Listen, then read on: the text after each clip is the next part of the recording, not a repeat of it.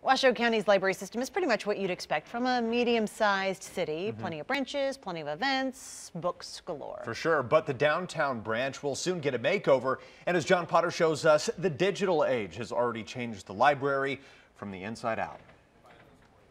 How old would you say this building is with its modern style curved architecture and organic green indoor environment? Okay, and these are the two due dates. Well, it just celebrated 51 years of business, which shows you just how far ahead of its time it was when it opened in May 1966.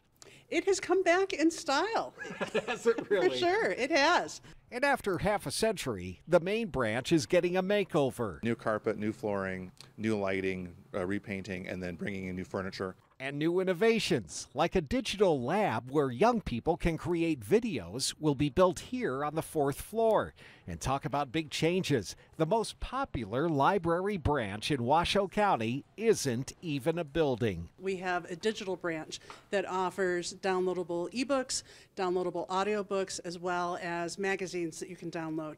And that branch now checks out more materials than any of our physical locations in any given month. far more people checking out downloadable audiobooks, and every year we increase what we offer digitally in order to meet that demand. We're seeing explosive growth, probably 50% growth there. doing more, but the Washoe County Library System has been doing with less for years now. You can still see signs of the recession on some of the shelves. This branch used to be open seven days, morning to night.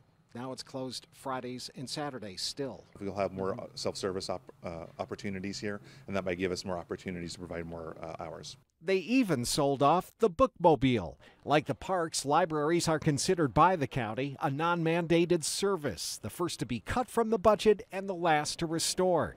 But this staff overcomes that. Today, they call it a smarter library system.